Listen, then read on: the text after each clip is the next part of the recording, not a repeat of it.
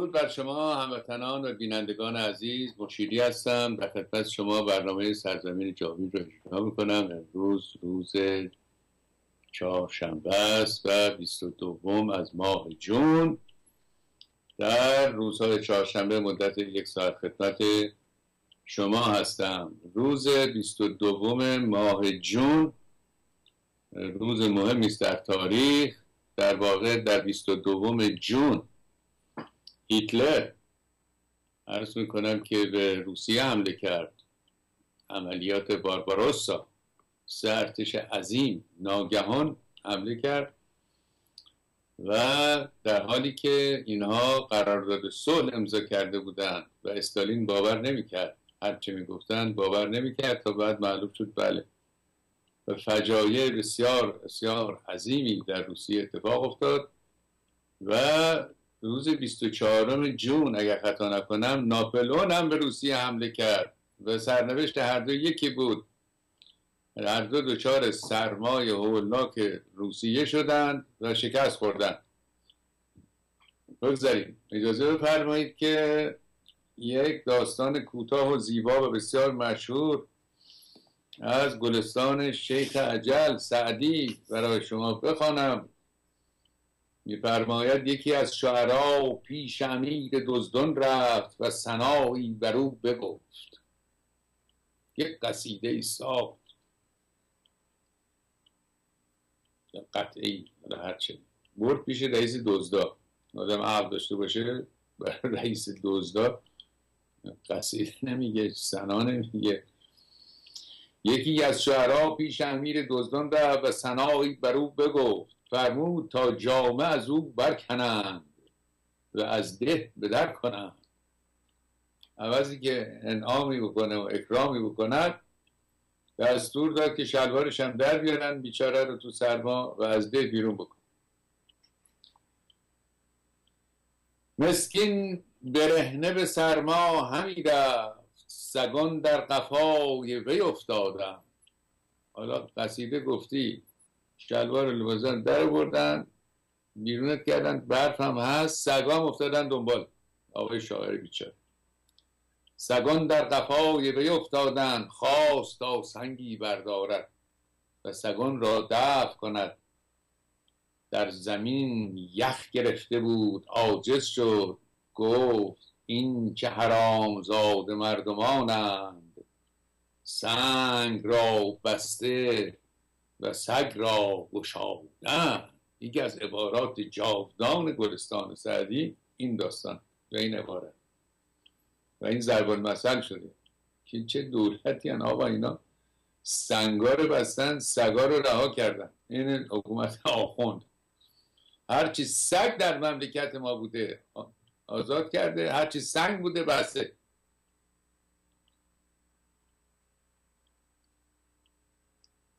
حکومت دزدان و جامر همین است دیگه. اوباش چاوکشان دزدان.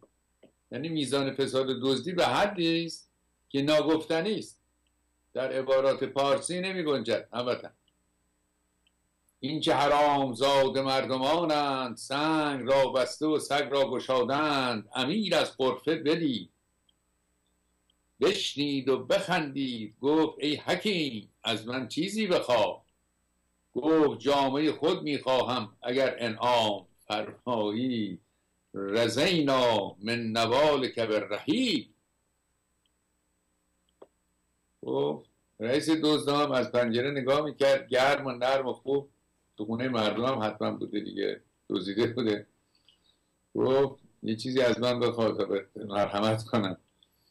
گفت که می‌گوید که از عطای تو به کوچیدن چیزی بده که بتونم برم. از عطای تو به کوچیدن و رفتن خوشنودم رزینا یعنی رزینا به غذا الله. رزینا راضی هستم. یه کاری کن که من بتونم فرار کنم و برم.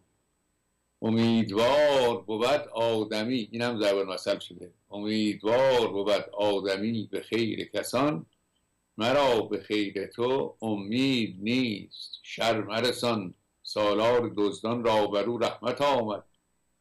و جامه باز پس فرمود. و قبا پوستینی بر او مزید کرد و درمی چند. بابا رئیس دوزه معرفت داشته. معرفت در دزدانم پیدا می شده. بله. ولی در آدم دینی که چوب حکومت دستشه به اندازه رئیس دوزا شما طلب مرحمت نکنید. چون خبری نیست. سالار دزدان را بر او رحمت آمد و جامه باز پس فرمود و قبا پوستینی بر او مزید کرد و درمی چند. قبا پوستین یعنی پوستین. پوستین گرم خوبی داد. ولی هم پول بهش داد. و گفت بفرمایید تشریف ببرید. بله. شما ارز کنم. از بس دروغ گفتن این آخوندها. استخوان اینها از دروغ ساخته شده. کشور ما رو از بالا تا پایین دروغ فرا گرفته. هیچ حقیقتی در کار نیست. پا به ایران زمین که بگذارید اونجا جای دروغ است و فساد. جای تصریف است و تحریف. و نسل های جدید رو با دروغ های خود پرورش میدن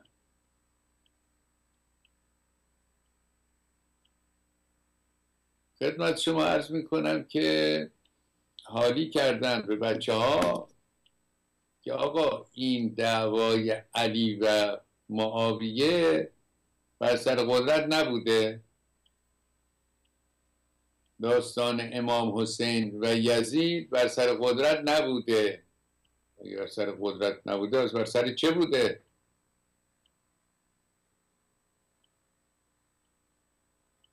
اینا پسر اموها بودن. اولاد هاشم اولاد امیه جدشون هم عبدالمناف اهل مکه بودن. یک کسی پیدا شد بین اون سو. و من پیغمبرم. خدا من فرستاده اینم دینم و اینها اینا نپذیرفتن. بعد از سیزده سال ایشون گریختن هجرت فرمودن به مدینه اونجا جمع کردن و ریختن سر اینا. فتح کردن. مکه رو فتح کردن یعنی با زور. آمدن اونجا رو گرفتن و پسر اموها مخالف بودن. بزرگترین دشمنان اسلام پسر اموها بودن دیگه. رئیس کلشون ابو سفیان بزرگ قوم. هنگام ورود به مکه اون مایه احترام هنوز از ابو سفیان در دل محمد بود که گفت هر کی در خانه ابو سفیان برود در امان است. بعد چه اتفاقی افتاد؟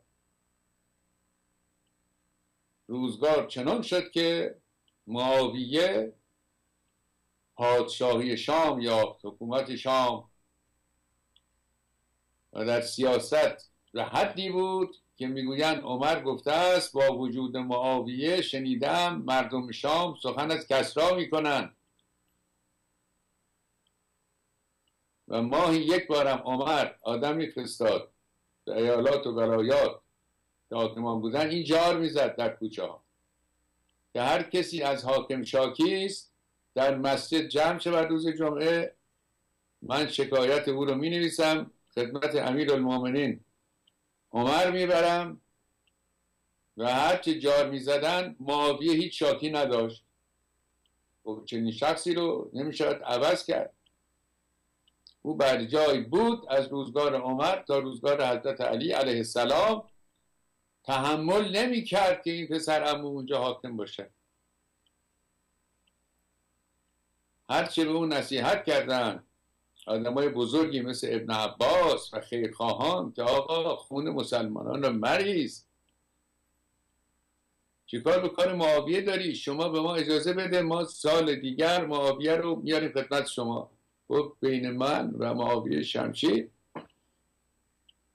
حکومت می‌کند و رفته اونجا و یک نامه نوشته است به معاویه. که معاویه یا معاویه انا ابوالحسن من ابوالحسنم.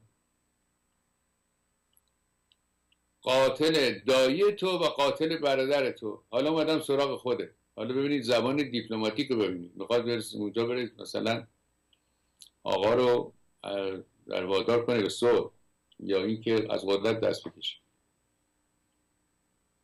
و چون به قدر کافی تدبیر نداشت علی علیه السلام و کار جنگ رو هم بلد نبود. حتی فرزندشون بهشون گفتن پدر جان شما آداب هر نمیدانی. شکست خوردن. بعد از ایشان امام حسن آمدن و لشکر کشیدن جنگ نکردن. سهمشون از خلافت فروختن به معاویه امضا دادن. بعد حضرت حسین آمده است در حالی که هیچ حقی به خلافت نداشت چون حق خلافت به سر بزرگ می‌رسد و ایشان فروخته بود پولشان گرفته بود در جیب مبارک ریخته بود.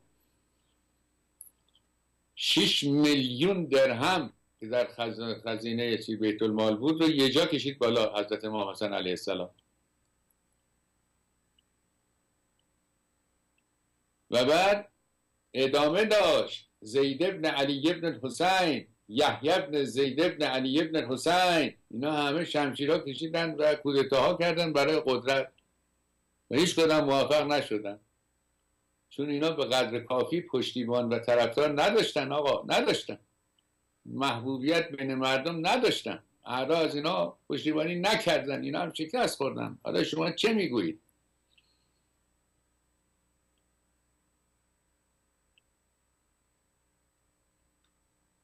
خب سخن از حکومت کردیم. اجازه فرمایید که عرض کنید از شما که فلسفه یونان در واقع نیرومندترین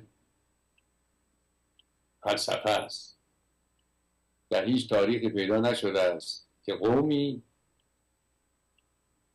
بین قومی کسانی پیدا شوند که 2500 سال بعد از اونها نقل قولها برد زبان باشه. اونقدر حکیمانه.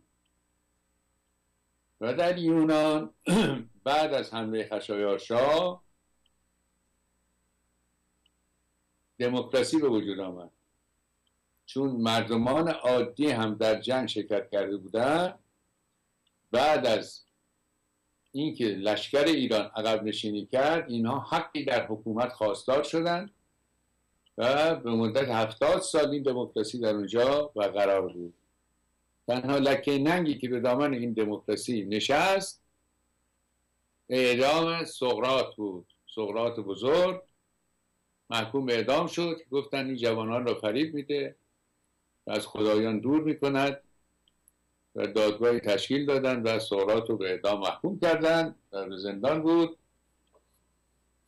و جام شوکران فرستادن و سقرات حکیم با نوشیدن جام شوکران در واقع از این جهان رفتن. فیلسوفان بعد از سقرات در واقع آمدن و در باب سیاست بسیار سخن گفت یکی از شاگردان سقراط افلاتون بود. شاید بزرگترین فیلسوف تاریخ باشد. و افلاتون در کتاب جمهوریت مجموعه جمهوریت کتاب هشتم پرداخته است به سیاست. چند رشته بودن اینها؟ که فیلسوف بایستی حتما در بابش صحبت می‌کرد.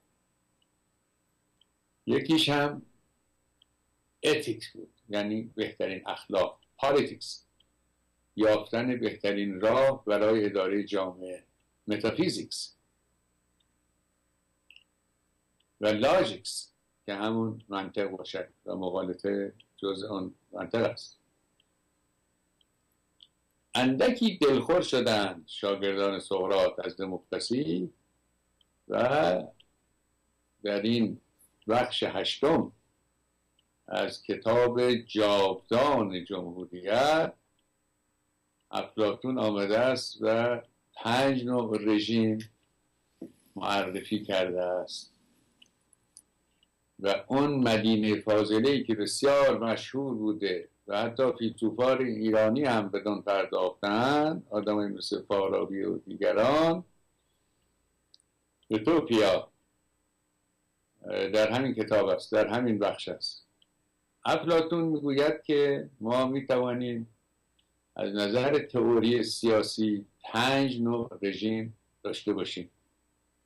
اولیش اریستوکراسی هست. اریستوکراسی. تیموکراسی اولیگارشی دموکراسی تیرانی. می‌گوید که بالاترین اینها اریستوکراسی است. وقتی اریستوکراسی.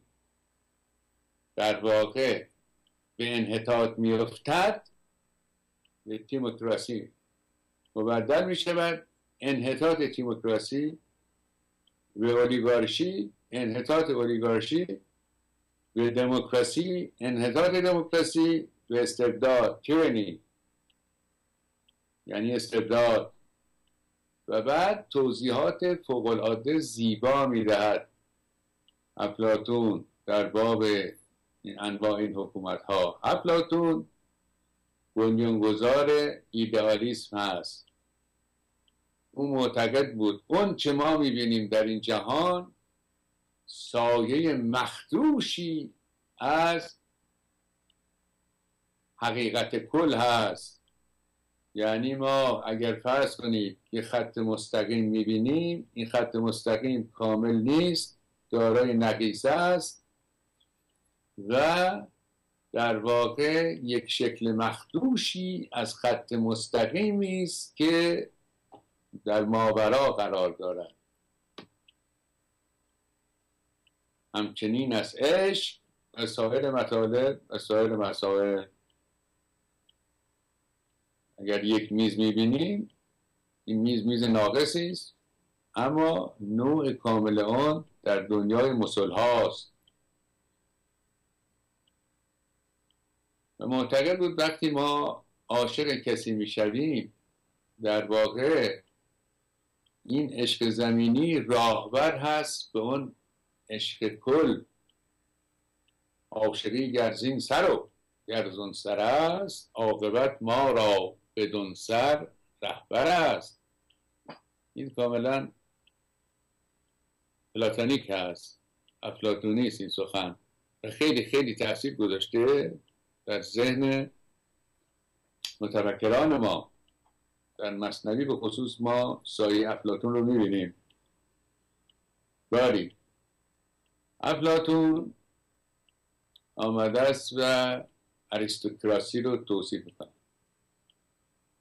می‌گوید برای یک داشتن یک جامعه خوشبخت چاره ای نیست جز که ما بهترین مردمان رو انتخاب کنیم و بهترین تعلیمات رو به آنها بدهیم و در واقع حکومت فیلسوفان به وجود بیاوریم و جهان آباد نخواهد شد و جامعه به سعادت نخواهد رسید مگر اون که فیلسوف پادشاه باشد یا پادشاه فیلسوف؟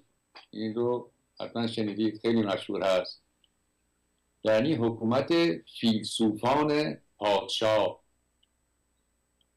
و ما اینها رو انتخاب باسی بکنیم از بهترین مردمان جامعه و تحت تعلیم و تربیت خیلی خیلی در واقع سخت بگذاریم.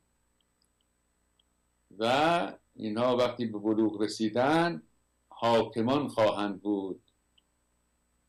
و اینها همون فیلسوفان پادشاه هستند که ما می‌خواهیم.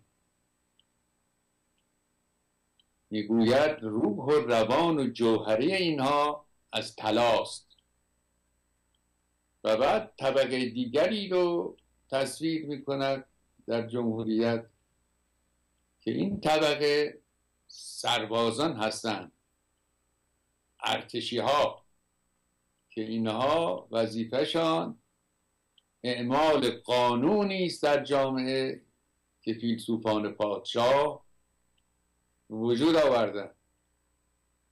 و بعد بقیه مردم هستند که اینها ارباب حرف هستند بازاری ها هستند و کسانی که امور جامعه رو انجام می‌دهند. صاحبان حرفه مختلف اینها و بعد توضیحات مفصل و مبسوط می‌دهد که صفات فیلسوفان پادشاه چه چیزی خواهد بود. می‌گوید اینها حتما بایستی تعلیمات ژیمناستیک و موسیقی ببینن حالا ژیمناستیکی که او می‌گوید این ژیمناستیکی نیست که ما می‌بینیم. ژیمناستیک اصولا از دیدگاه افلاتون به معنی ورزش پرورش اندام. و عقل سالم در بدن سالم. و موسیقی که می‌گوید مقصودش موسیقی تنها نیست همه هنرهاست. بنابراین اون کسی که می‌خواهد رهبر جامعه بشود بایستی اشراف داشته باشد بر هنر و بدن سالم داشته باشه. و بعد اینها کوچکترین توجهی به طلا و نقره و مزخرفات دنیوی نباید داشته باشن به صورت کامیونیتی زندگی کنن در واقع یه نوع کمونیسم این مدینه فاضله حضرت افلاتون زندگی می‌کنن و قصد اینها گسترش عدالت در جامعه است. اجازه فرمایید که من از امیر عزیز خواهش کنم که یک موسیقی زیبا برای شما پخش کنم برمیگردیم در سر سخن افلاتون حکیم بزرگ یونان تا چند دقیقه.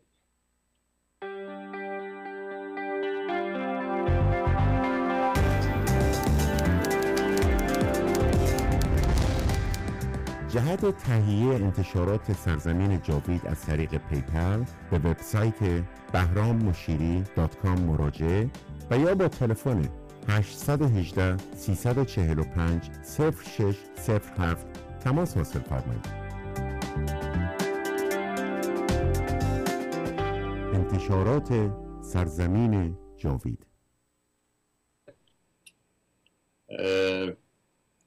خواستم خدمت شما ارز کنم که این مناظره ما با آقای خز علی ادامه خواهد داشت. این هفته هم خدمت شما خواهیم بود در روز ارز کنم که جمعه در صدای آمریکا.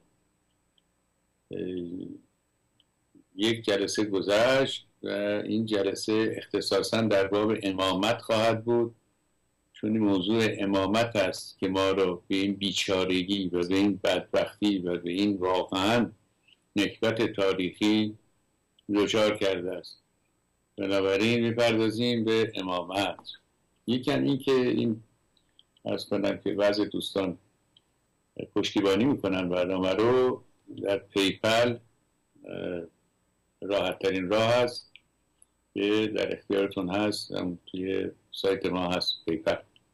سپاسگزاریم از هموطنانی که در این سالها پشتیبانی کرد باری برگردیم سر این موضوع این دوستان در مدینه فاضله افلاطون و برای اینها یعنی برای حاکمان قدرت و شهرت و تجمل مطلقا معنی ندارد. تنها چیزی که اهمیت دارد گسترش عدالت هست و اینها به دور هستند از این از این مطالب و دار اینها دارای تعلیم و تربیت فوقالعاده هستند و این حکومت اشراف هست.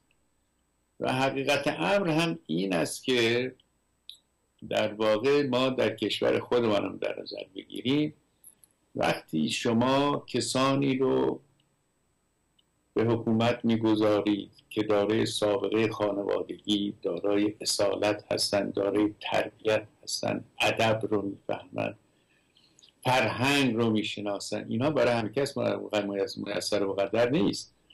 ما نگاه کنیم به زندگی این چند رجلی که ما داشتیم از روزگار مشروطه که اینها منتصب به اشراف بودن اینا بزرگترین رجال ما هم همونها بودن. وقتی شما آدم چاو و کش رو از سرای سیروس برمیدارید میارید می‌کنید حاکم چه انتظاری از او دارید؟ ارازل و اوباش میآورید به حکومت می‌گذارید چه انتظاری دارید؟ نگاه کنید به این حکومت امروزین ایران. نمونه است واقعا از سفاحت و حماقت و ستمگری. به خاطر که اینا خرد رو نمی‌شناسن فرهنگ رو نمی‌شناسن ایران رو نمی‌شناسن.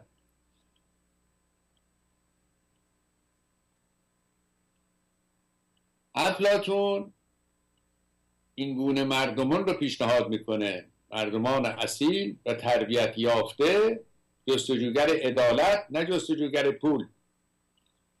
و می‌گوید که ستون اصلی حکومت پایین پادشاهان فیلسوف یا فیلسوفان پادشاه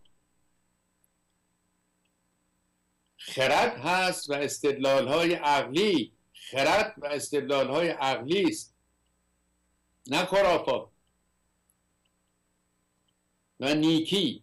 و اون نیکی که می‌گوید برگرفته از بزرگترین نیکی ها پدیده نیک که همون خداست در واقع. سخن به اونجا منتهی میشه.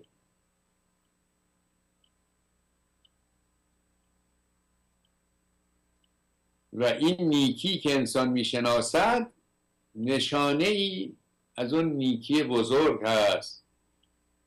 که در ترجمه ها گود گفته شده است. یعنی خوب. گود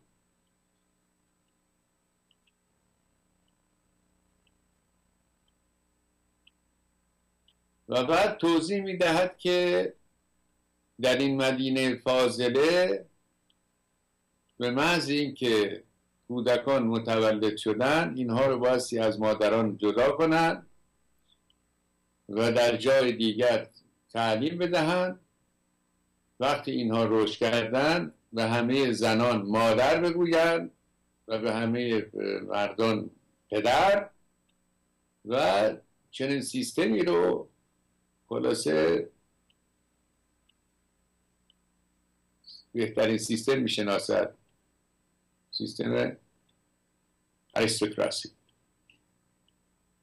و اگر کسی پیدا شد در طبقات دیگر که دارای صفات حمیده بود و دارای ظرفیت فیلسوف شدن بود اون رو هم اون کودک یا اون جوان رو هم ما می توانیم بیاوریم و جز طبقه, طبقه حاکم قرار بدهیم. و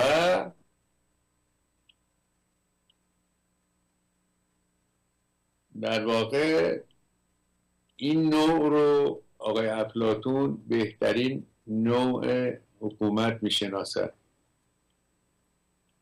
که تا زمانی که به انحطاط نرفته و این حاکمان به سراشی و سقوط اخلاقی نیفتن این مدینه فاضله بر جای خواهد بود و وقتی که به سقوط رسیدن و تبدیل شود به تیموکراسی تیموکراسی یعنی نوع منحت اریستوکراسی. تیموکراسی که اینها حاکمان گرایش به ثروت دارن گرایش به جمع کردن مال دارن و علاقمند به قدرت نظامی هستند و در واقع این تیموکراسی ضمن اون که نوع منحت اریستوکراسی است اما خیلی هم بد نیست. هم درش خوبی هست هم درش بدی هست. یک چیزی در میانه راه و قابل تحمل هست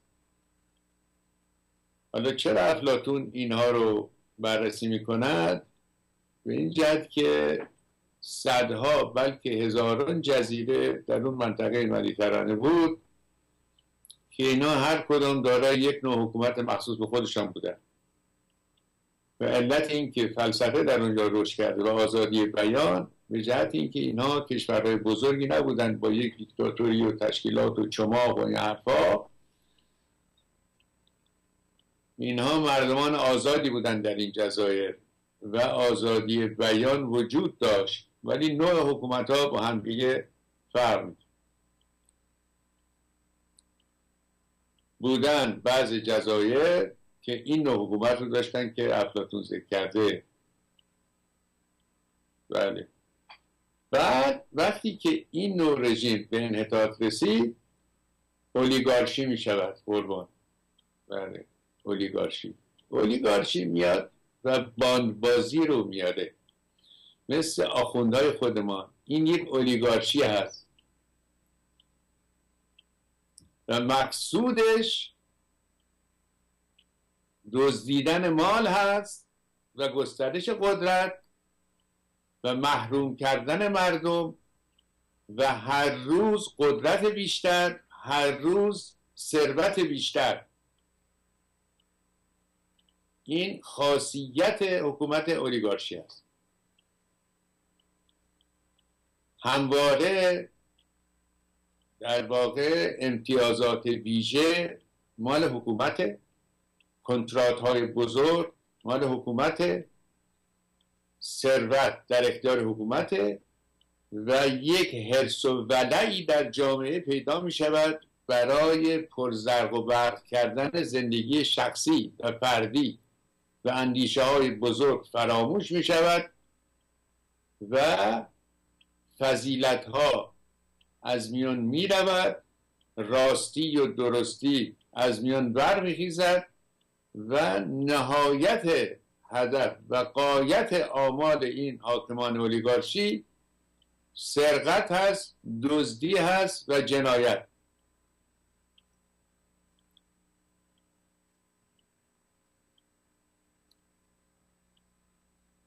و افلاتون می‌گوید که اینها اگر که جنگی در بگیرد لیاقت نظامی ندارد. و مردم فقیر روز به روز فقیرتر و نهایتا تولید چاقوکش و گدا می‌کنن حکومت اولیگارشی تولیداتش معالا چاقوکش یعنی عرازل و گداست. افلاتون میگه beggars and thugs. چاوکشان آدم کش و گداها. ملاحظه فرمایید پیدا کنید پرتغال فروش را. روزی نیست که ما اسم چهار پنج دزد بزرگ رو نبینیم تو این بانک ها این سو اون سو.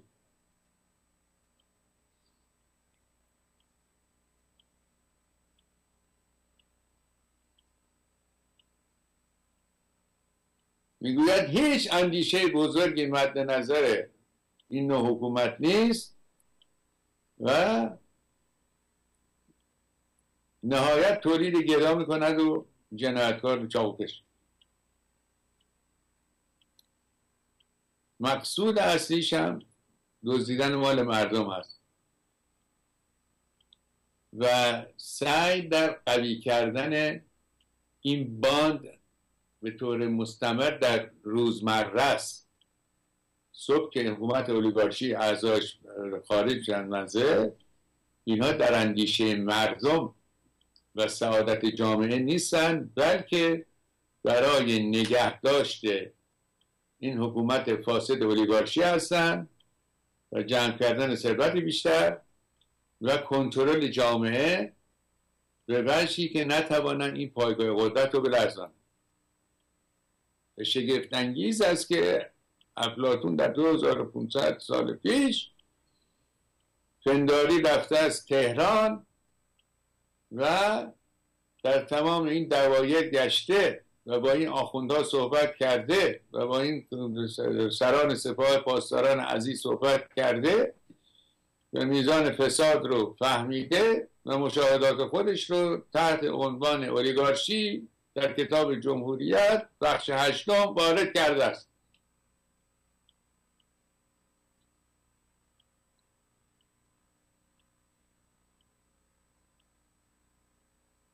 خب اینها که من عرض می‌کنم خیلی به اختصار هست چون ما 5 6 دقیقه بیشتر وقت نداریم. خب اولیگارشی هم که به انحطاط برود و مردم به جان بیایند از این وضعیت چه می‌کنند انقلابی می‌کنند شورشی می‌کنند و حکومت اولیگارشی رو ساقط می‌کنند و به جاش دموکراسی میآورند دموکراسی که باش آزادی میاد و اون طبقه محروم جامعه که در روزگار حکومت اولیگارشی هیچ گونه حقی نداشت در روزگار حکومت دموکراتیک به حقوق خودشان می‌رسن.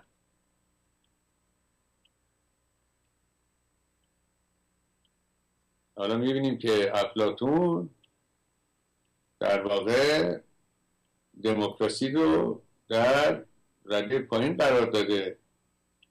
یکی به آخر. چون بدترین نوع حکومت و بعد که مردم از در واقع خسته شدن از دموکراسی همواره از دموکراسی امکان تولید دیکتاتور هست. تیرانی یعنی حکومت استبدادی. و در حکومت استبدادی توسط مستبد هر نوع جرمی و هر نوع جنایتی به دست او انجام می‌گیرد. و هر چه زمان میگذرد او بر میزان جنایاتش میافزاید. البته عرض می‌کنم که شاگرد افلاتون در اکادمیا ارسطو آمد تفاوتی گذاشت بین شاهنشاه و دیکتاتور. می‌گوید شاهنشاه جستجوگر غرور و افتخار است دیکتاتور جستجوگر پول شاهنشاه رو مردم داوطلب سیانت می‌کنن. دیکتاتور مزدور استخدام می‌کنن. حتی من شنیدم که آقای علی خامنه ای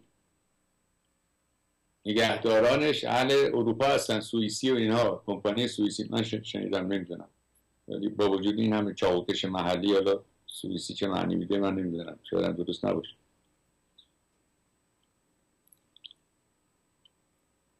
این آقای دیکتاتور روز به روز بر میزان دزدیش اضافه میشه بر میزان جنایاتش اضافه میشه.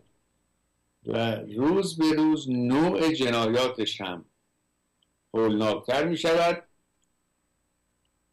و رفته رفته شروع می کند ترسیدن و از اطرافیانش بیم بردن به طوری که زمانی می رسد که این دیکتاتور خودش زندانی اعمال خودش هست و از قصد خودش نمی‌تواند بیرون برود. هر موقع بخواد بیرون برود صدها نفر بایستی از این مواظبت بکنن که مردمی رو نکشن.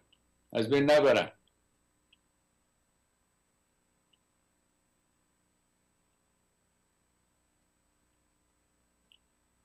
و عاقبت کار حضرت دیکتاتور یا مردم او رو می‌کشن یا متواری می‌کنن.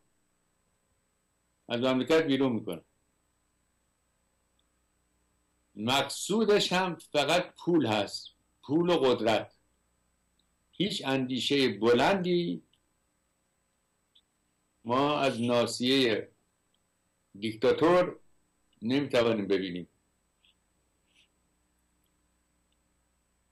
و بدترین نوع حکومت که در پایین جدول آقای افلاتون قرار گرفته است همین حکومت هر می شود که استبدادی هست که وابستگان به استبداد همواره بیشترین ثروت ها رو جمع می‌کنن و کوچکترین توجهی به زندگی مردم فقیر نمی شود.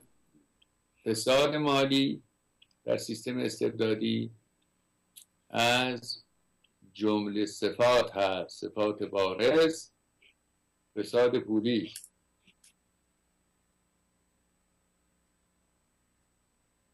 این پنج نوع حکومت رو جناب افلاتون پیشنهاد کرده است و امروز که نگاه کنیم به وضعیت ایران می‌بینیم که اولیگارشیست در واقع. اولیگارشی به علاوه دیکتاتوری است. ماشاءالله از هر دوتا ارث برده. این حکومتی که در ایران امروز و ایران زمین زیبا و تاریخی حاکم است. امیر گفتن که تمام شد وقت. ما هم از شما خداوزی می‌کنیم. با سپاس از امیر. تا برنامه دیگر درود بر شما. جاوید ایران زمین زنده باد آزادی.